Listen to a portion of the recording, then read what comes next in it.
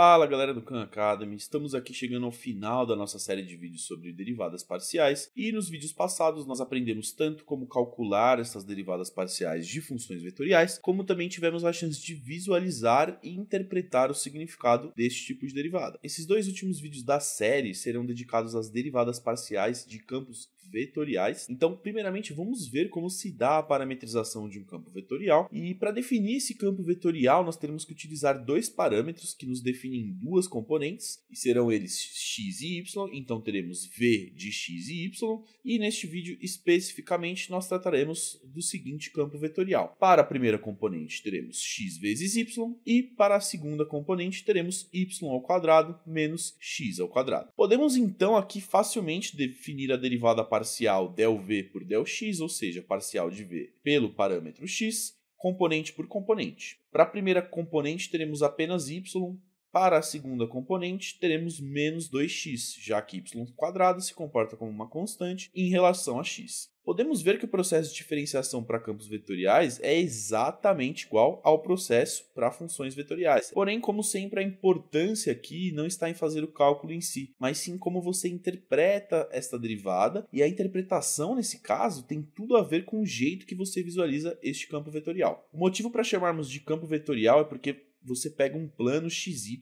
e enche ele de vetores. E o que eu quero dizer com isso é, para cada par de ponto XY, você gera um vetor dado por essas duas componentes aí. E como exemplo, vamos pegar aqui o par de pontos 1,2, beleza? Para análise. Então vamos marcar aqui o ponto onde x igual a 1 e y igual a 2. E lembrando que estes são apenas os pontos de entrada, beleza? Então é importante saber que o nosso vetor de saída terá o início aqui neste ponto escolhido. Vamos então calcular o vetor referente a este par de pontos xy. Para a primeira componente teremos 1 vezes 2, que é igual a 2. Para a segunda componente, teremos 2 ao quadrado menos 1 ao quadrado, que é igual a 3. Então, a partir do par ordenado 1,2, teremos um vetor cuja componente vetorial horizontal será 2 e a componente vetorial vertical será 3. Temos aqui definido um dos vetores do nosso campo vetorial, então, e a princípio você faz isso para todos os pontos, beleza? Até que você tenha vetores o suficiente, né, para chamar isso aqui de um campo vetorial, e você vai acabar com algo parecido com isso aqui, beleza? E lembrando que toda vez que utilizamos um computador ou algum tipo de recurso gráfico para demonstrar um campo vetorial, há uma adaptação em relação aos módulos destes vetores, para que não haja sobreposição e eventual poluição visual aqui no nosso desenho. Neste exemplo específico, todos os vetores estão representados com o mesmo tamanho, tá? Só que existe aí uma escala cromática para dar uma vaga noção em relação ao tamanho desses vetores. Neste caso aí, os vetores em azul são bem menores do que os vetores desenhados na cor amarela. Porém, quando nós falamos de derivadas parciais, estes tamanhos nos importam muito. Então vamos voltar aos nossos cálculos. Nós temos que imaginar este del x aqui, este parcial x, como um pequeno deslocamento na direção x, conforme nós explicamos nos vídeos passados. E conforme vimos nos vídeos passados também, a pergunta que essa derivada parcial quer responder é qual a variação da minha função como um todo quando eu fixo um valor para os outros parâmetros e vario apenas este parâmetro em específico, que nesse caso aqui do parcial x é o próprio parâmetro x que será variado. Aqui no gráfico nós temos o valor de entrada, que é este ponto, e o parcial x seria este pequeno vetorzinho aqui, e a partir disso, qual a mudança no valor final da função campo vetorial que teremos ao nos deslocarmos apenas nesta direção x. E esta mudança será também um vetor, e é justamente o nosso vetor parcial v, beleza? Beleza? O que estamos tentando dizer é, este próximo ponto terá outro vetor atrelado a ele, certo? Então vamos imaginar aqui este segundo vetor, vamos também nomear estes dois vetores para não atrapalhar o raciocínio. O primeiro vetor vamos chamar de V1 e este segundo vetor aqui desenhado em rosa será o nosso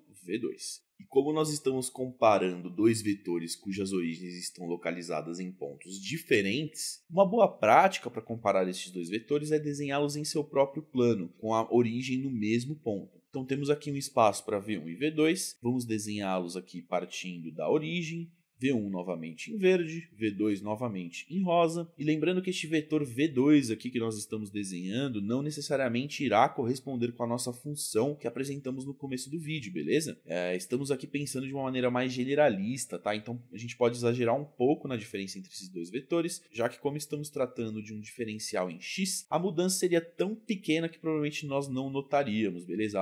É a mudança real. A diferença entre esses dois vetores seria um vetor que conecta as duas pontas aqui.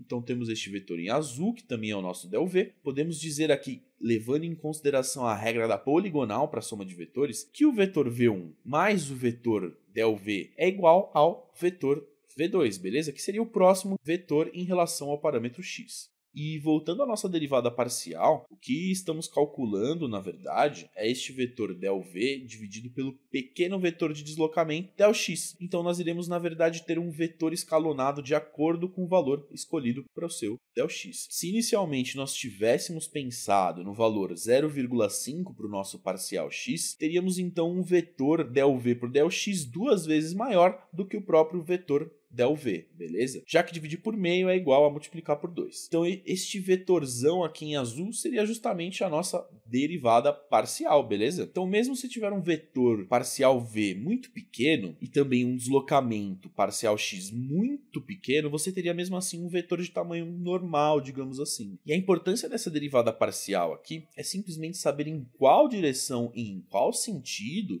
o vetor vai mudar em relação ao vetor referente ao próximo ponto escolhido, beleza? Então vamos aqui calcular o valor final desta derivada para os nossos pontos 1 e 2. Para a primeira componente teremos 2 e para a segunda componente teremos menos 2 vezes 1, que é igual a menos 2. Podemos ver aqui que realmente o exemplo utilizado para o vetor V2 não condiz com a nossa função e era apenas um vetor imaginado para fins didáticos, beleza? Como eu expliquei mais cedo. Vamos aqui apagar este exemplo que eu dei, que era o vetor V2 e desenhar o real vetor ΔV por ΔX, que de acordo com os nossos cálculos muda na direção 2 para x e menos 2 para y, o que resulta em um vetor mais ou menos assim, digamos. Então andamos duas unidades para a direita e andamos duas unidades para baixo. Pronto, está aí então o vetor que representa a nossa derivada parcial do ponto 1,2. E apenas para reforçar, nessa função dada aqui, conforme você move o seu ponto na direção x e considera os inúmeros vetores resultantes referentes a cada ponto, a tendência é que os vetores se movimentem para o canto inferior direito do gráfico, ou seja, no sentido noroeste sudeste, como você quiser imaginar. Também o modo deste vetor está diminuindo conforme você se afasta desse ponto 1,2. No próximo vídeo nós iremos nos aprofundar um pouco aqui neste assunto, explicando um pouco melhor o que essas componentes verticais e horizontais significam separadamente. Então é isso, galera do CAM. Nós nos vemos no próximo vídeo.